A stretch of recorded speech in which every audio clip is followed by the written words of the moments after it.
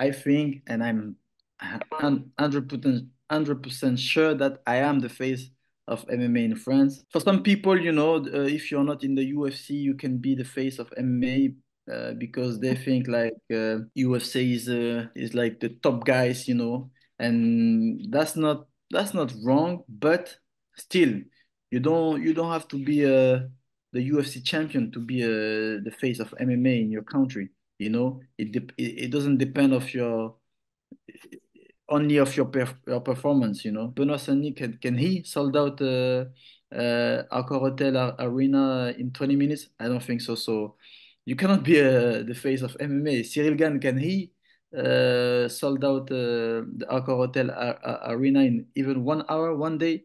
I don't think so, but Cedric Doumbé can. So I think this type of things make me uh, be uh, the face of MMA in France.